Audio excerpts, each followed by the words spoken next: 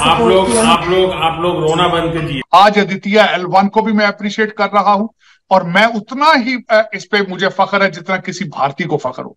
अक्सर मैं अपने भारतीय दोस्तों से मज़ाक करता हूँ मैं कहता हूँ यार I am Indian as well वो कहते हैं किस तरह?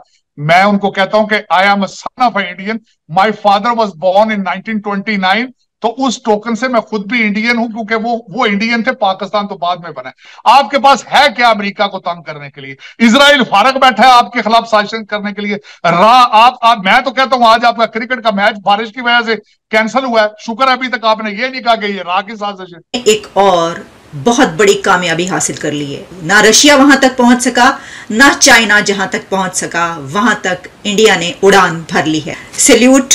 हमारी तरफ़ से। मेरी तरफ़ से ये सलूट मेरी तरफ़ से ये सलाम है इंडिया के साइंसदानों को। इंडिया ने अपनी फ़र्स्ट ऑब्जर्वेशन मिशन जो है वो सूरज की तरफ़ भेजा है जिसको कहते हैं ना कि ये हिस्ट्री ऑब्वियसली अच्छा मैं आपको मज़े की बात बताऊँ, जब नरेंद्र मोदी जी साउथ अफ्रीका में थे तो उधर मैंने एक स्टेटमेंट सुनी, उन्होंने कहा, जी, हम सूरज पे जो है ना वो भेजेंगे। चाँद के बाद हमारी नेक्स्ट डेस्टिनेशन सूरज है। मैं क्या, सूरज जैसी डेस्टिनेशन हो सकती है?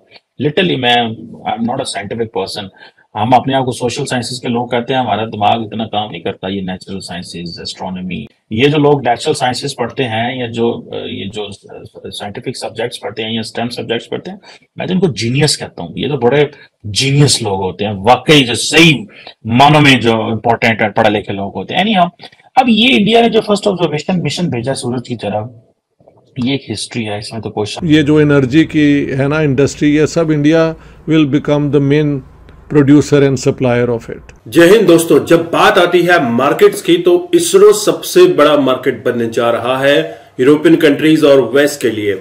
अभी इसरो ने जैसे चंद्रयान थ्री लॉन्च किया और आदित्य एलवन लॉन्च किया, इसके बाद इसरो के पास इतने ज़्यादा ऑर्डर्स आ चुके हैं जो कि इसरो काफ़ी ज़्यादा पैसा बना चुका है। थाउज़ेंड करोड़ से ऊपर के ऑर्डर ऑलरेडी इसरो के पास पहुँच चुके हैं। तो ISRO almost Russia, China, Japan, USA की मार्केट खत्म करने जा रहा है, क्योंकि इसरो के पास जो टेक्नोलॉजी है, बहुत ही कम दामों पे वो ऐसे प्रोजेक्ट्स लॉन्च करता है। आपने देखा कि जो चंद्रयान थ्री बनाया गया था, ये लगभग 600 करोड़ का था। बहुत सस्ते और किफायती दरों पे इस प्रोजेक्ट को लॉन्च किया गया और इसके बाद पूरी दुनिया हैरान है और इसरो को ऑर्डर पे ऑर्डर दिए जा रही है। तो अगला जो टारगेट है इसरो का कि पूरी दुनिया के जो एनर्जी सेक्टर है उसमें सेंध लगाने का। आप इस वीडियो में एक्सपर्ट्स की राय देखिए, मैं आपको मिलता हूँ वीडियो के एंड में। इंडिया ने एक और बहुत बड़ी कामयाबी हासिल कर ली है। एक ऐसी कामयाबी जो अभी तक इससे पहले सिर्फ़ यूरोपियन स्पेस एजेंसी और अमेरिका के हिस्से में आई थी। ना रशिया वहाँ तक पहुँच सका, ना चाइना जहाँ तक पहुँच सका, वहाँ तक इंडिया ने उड़ान भर ली है। इंडिया का solar mission, sun mission, Aditya L one आज कामयाबी के साथ लॉन्च कर दिया गया। सल्यूट हमारी तरफ़ से। मेरी तरफ़ से ये सल्यूट, मेरी तरफ़ से ये सलाम है इंडिया के साइंसदानों को, इसरो के साइंटिस्टों को इसरो की उन खातन साइंसदानों को जो हमें सफ़े अव्वल में बैठी हुई नज़र आती हैं, हरावल दस्ते में नज़र आती हैं, पहली लाइन में खड़ी हुई नज़र आती हैं और काम करती हुई दिखाई देती हैं। क्योंकि ये जो बॉर्डर से बॉर्डर मिला हुआ है, इसका कोई फ़ायदा नहीं हो रहा। इसका कोई फ़ायदा इसलिए नहीं हो रहा। देखिए, फासला तो मतलब ज़ीरो और हंड्रेड का है, अगर देखा जाए इस तरीके से।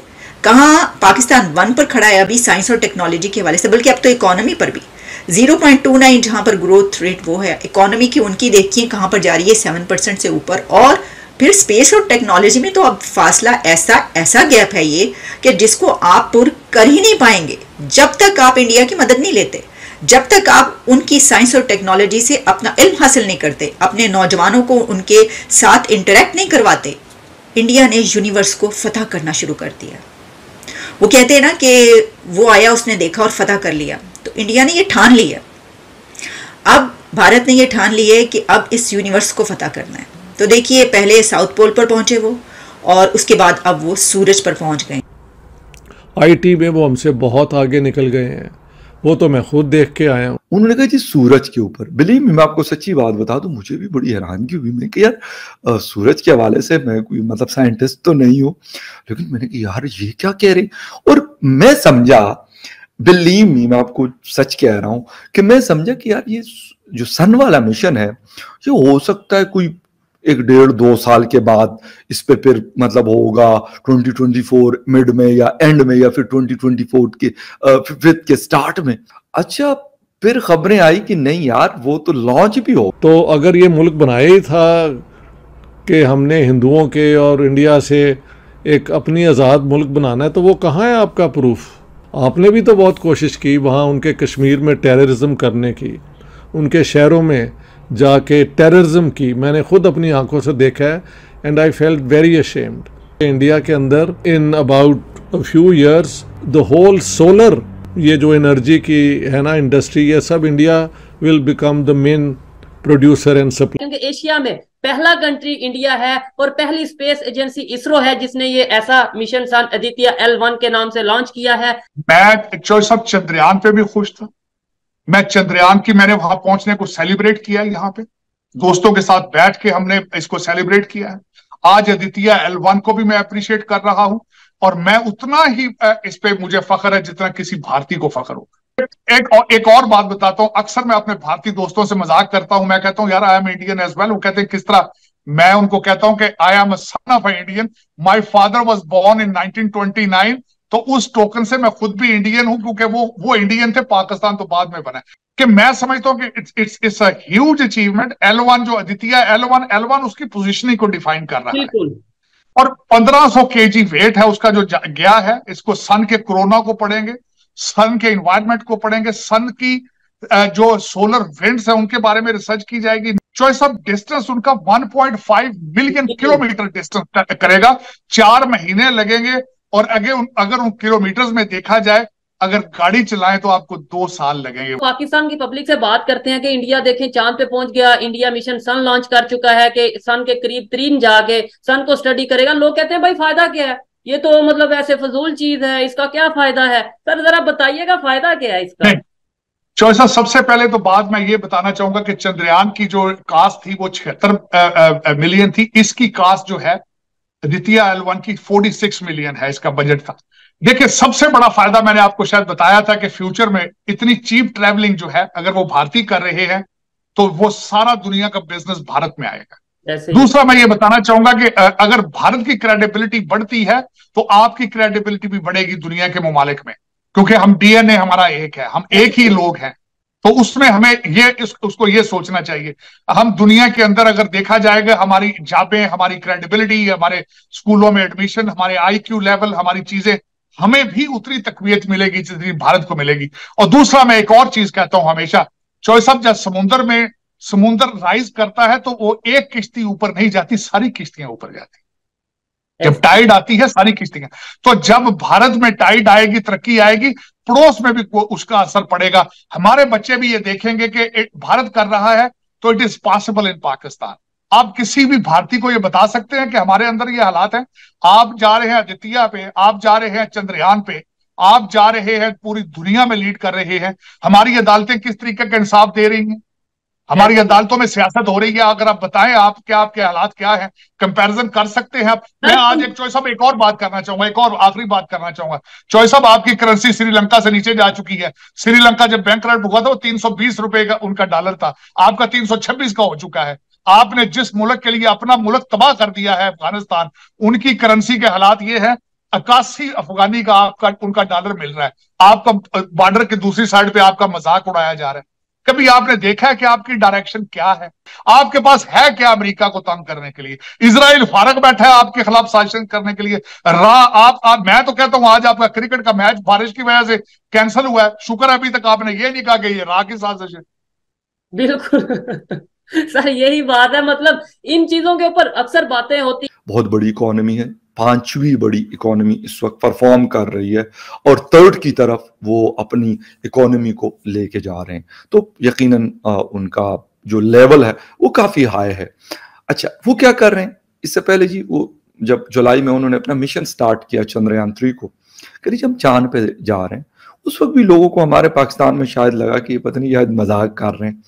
लेकिन जब ट्वेंटी थर्ड ऑफ़ अगस्त को उसने लैंड किया और दुनिया ने उसको लाइव टेलीविज़न स्क्रीन पे देखा तो फिर हमें लगा, नहीं नहीं यार, ये तो मज़ाक नहीं कर रहे थे, ये तो वाकई में इन्होंने ये सारा कुछ बनाया था और ये लॉन्च भी किया और ये फिर रास्ते में इसने जो सफ़र किया चालीस पैंतालीस दिन का और फाइनली इसकी जो डेस्टिनेशन थी south pole of the moon तो they landed successfully over there अच्छा उसके बाद उन्होंने वहाँ से बहुत सारी चीज़ें कि सल्फ़र है, फला है, फला फला, हो गया। उन्होंने कहा, जी, सूरज के ऊपर। बिलीव मैं आपको सच्ची बात बता दूँ, मुझे भी बड़ी हैरानगी हुई। मैं कि यार सूरज के हवाले से मैं कोई मतलब साइंटिस्ट तो नहीं हूँ और स्पेस के हवाले से तो सिर्फ़ वो फ़िल्में फ़िल्में हम लोगों ने देखी या डॉक्यूमेंट्रीज कुछ देखी है।